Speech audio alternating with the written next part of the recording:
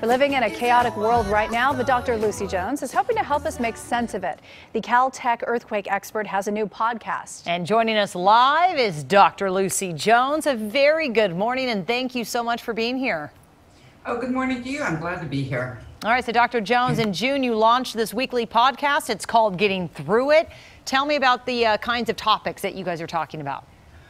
Uh, anything about how science touches society. And obviously, this year that includes talking about the pandemic, helping explain why we're having a surge, why masks make a difference, um, get to earthquakes, I can't leave them behind, mm-hmm. and uh, any variety of places where I really feel like uh, people could, un- could benefit by understanding the science.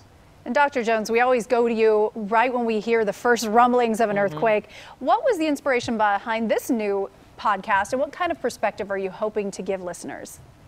Well, it's really because of this year. I mean, uh, I've recognized for a while that uh, we have a pretty big divide between scientists on one side and society on the other. And I've been working for a while on helping people understand it.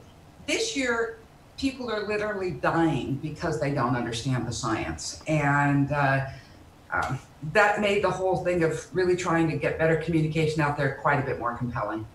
I like that information is power, and I like that you can give them the facts so that we can have the tools we need during all of this.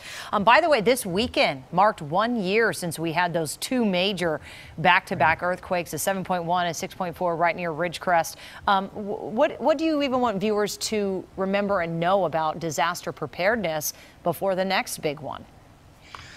Well, the disasters are uh, disasters because they affect our society you know that uh, when everybody does it together it feels really different. And um, the pandemic is itself a disaster. It's just one that's happening on a much longer time frame you know earthquakes happen in a minute. The pandemic's going on for a year. Climate change is a disaster that's happening for centuries.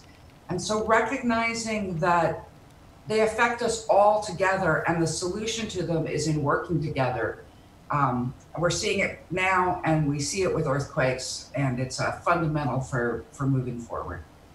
Now, Dr. Jones, where can people learn more about your center and find your podcast?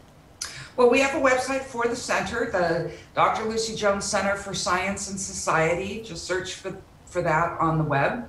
Uh, and we, we serve the podcast from there. It's also available through the, the regular podcast outlets. All right. And, and give a shout out to your co host. Oh, yeah. So I wouldn't have done this at all without John Bwarie because, uh, you know, scientists don't think in terms of podcasts in general. John helps me see uh, how people, uh, uh, how society works, and we're able to really do a lot together that way. Okay, well, I always uh, have quite the long drive home every day, so this is something I do in the on the radio. Plug it in, listen to the podcast. Dr. Lucy Jones, thank you so much, and for always being there and providing us the critical information. Well, thank you for having me on this morning. Thank you, Dr. Jones.